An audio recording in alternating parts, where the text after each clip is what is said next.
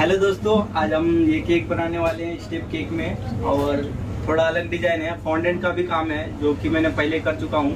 वो भी वीडियो में ऐड करके बताऊँगा आप सबको कि मैंने ये केक पूरा कैसे बनाया।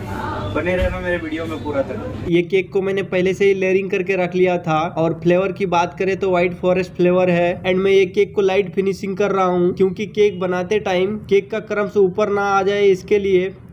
देखो भाई, मैंने केक को ऐसे ही लाइट फिनिशिंग किया हूँ, क्योंकि केक का क्रम से जो रहता है ना, वो ऊपर की और ना आए, इसके लिए मैंने पहले से इसको लाइट फिनिशिंग कर लिया। अब इसके बाद हम इसके ऊपर अच्छे तरीके से फिनिशिंग करते हैं ओके जैसा कि मैंने बताया कि कभी भी कोई केक बनाओगे तो हमेशा लाइट क्रीम से हल्का फिनिशिंग कर लेना, ताकि जो क्रम से है ना, वो केक के ऊपर आपका ना आ जाए इसके लिए। क्योंकि बहुत बार ये हुआ होगा सबके साथ बनाते टाइम केक का क्रम से ऊपर आ जाते हैं केक फिनिशिंग करने के टाइम में। इसीलिए मैं ये बात बता रहा हूँ आप सबको, जरा ध्यान रखना, कभी भी लाइट फिनिशिंग करके केक को फिनिशिंग करना, ताकि आपका केक स्मूथ फिनिशिंग हो और कोई भी क्रम से ना आए ऊपर की ओर। तो उम्मीद है आप सबको भी ये बात समझ आ गया होगा कि मैं कैसा करके केक को फिनिशिंग करता हूँ। अगर आपके पास पाइपिंग बैग हो तो और अच्छा हो जाता है केक को फिनिशिंग करने के लिए, क्योंकि उसमें केक के साइड में क्रीम लगाने के लिए एक लाइनिंग से आपको आइडिया हो जाएगा कि कितना क्रीम लगेगा केक में। तो आप यूज़ कर सकते हो पाइपिंग बैग का। मैं यूज़ करता हूँ कभी कभी आप सब देखे होंगे मेरे शॉर्ट्स वीडियो में। काफ़ी हेल्प हो जाती है मुझे पाइपिंग बैग की मदद से। आप लोग भी चाहो तो यूज़ कर सकते हो, अगर आपके पास पाइपिंग बैग है तो।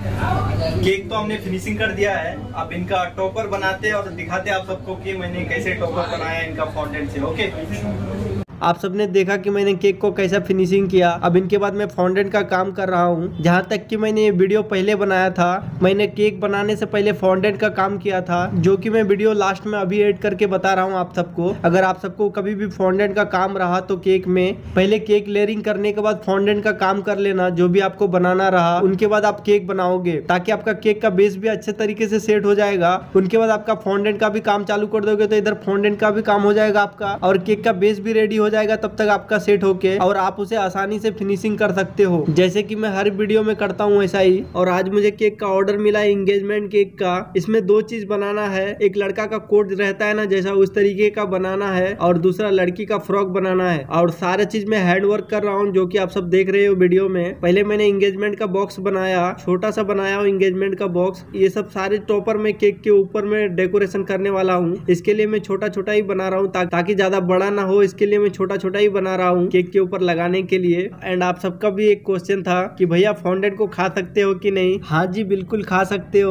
और आप सबने ये भी बात पूछा था कि भैया आप फॉन्डेंट को कैसे बनाते हो? तो जी, मैं बताना चाहता हूँ, मैं खुद रेडीमेड फॉन्डेंट यूज़ करता हूँ। आप सब भी चाहो तो मंगा सकते हो रेडीमेड में, क्योंकि रेडीमेड में आज के दिन में बहुत ही अच्छा अच्छा फॉन्डेंट मिलता है। आप कोई भी कंपनी का ले सकते हो। बहुत सारा कंपनी है जो फॉन्डेंट अच्छे अच्छे बनाते हैं। मैं नाम तो नहीं बताऊँगा, आप गूगल में सर्च करके देख सकते हो। आप गूगल में सर्च करके देख सकते हो कि कौन सा फॉन्डेंट ज़्यादा बेस्ट रहता है केक के लिए। आप वो फॉन्डेंट यूज़ कर सकते हो। आजकल तो सबको मालूम है कि कौन सा फॉन्डेंट ज़्यादा यूज़ करते हैं। वैसे विजन कंपनी का फॉन्डेंट आजकल सबसे ज़्यादा यूज़ होता है। तो आप एक बार खरीद के यूज़ करके देख सकते हो। अगर आपको अच्छा लगा विजोन कंपनी का फॉन्डेंट तो आप यूज़ कर सकते हो वही फॉन्डेंट ऑलमोस्ट मेरा फॉन्डेंट का सारे वर्क हो गया है। पहले मैंने देखा, आप सबने रिंग बॉक्स बनाया। उनके बाद फिर जो कैलेंडर रहता है, वो भी बना लिया। और फिर फ्रॉक बनाया लेडीज़ का। एंड मैन का जो ब्लेजर का ड्रेस रहता है वो भी बना लिया मैं। आप सब एक चीज़ गौर किया होगा, सारा चीज़ मैंने हैंड वर्क किया है यहाँ पे। जो कुछ भी बनाया, सब हैंड वर्क किया है मैंने। क्योंकि आप सब सोचते होंगे कि जो बेकरी में काम करता है, उसके पास टूल्स वगैरह रहता है। ऐसा नहीं है कहीं कहीं पे रहता है। बट मैं ज़्यादातर हैंड वर्क ही करता हूँ केक के लिए कुछ भी बनाना रहा तो। बाकी आप सब ज़रूर बताना, ये हैंड वर्क मेरा फाउंडेंट का काम कैसा रहा। तो चलिए, अब आगे हम केक को डेकोरेशन करके बताते हैं कि कैसा रहेगा ये केक डेकोरेशन करने के बाद।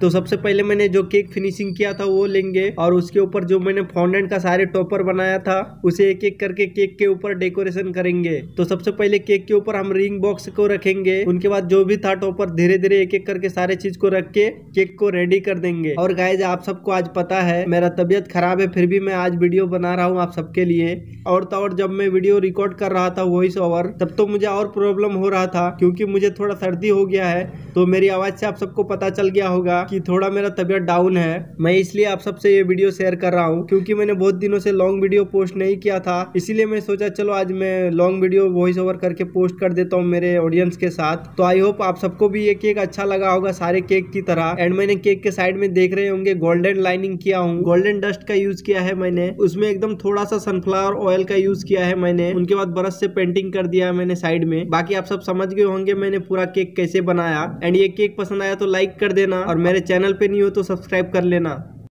तो फाइनली गाइज़ केक तो रेडी हो गया है। देखो मैंने आज का डेकोरेशन ऐसा था, ये केक का ऑर्डर था। ऑर्डर पे ही बनाया हूँ। बाकी आप सबको कैसा लगा ज़रूर बताना कमेंट में। पसंद आया तो लाइक कर देना।